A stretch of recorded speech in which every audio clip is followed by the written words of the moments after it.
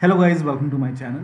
Today in this video I'm going to show you where to find the save game files and config file for FC24 game on your Windows computer. So if you have the game on EA app or Xbox app or Steam, you can follow the steps. So go to File Explorer and then go to this PC, open C drive. Now open users folder. Now open your username folder. Now open documents folder over here. And then find fc24 folder open this folder. This is where you can find the config file and save game files. So you can open this settings and you might see your savings over here. And to access the FIFA setup file you can FC setup you can make a double click.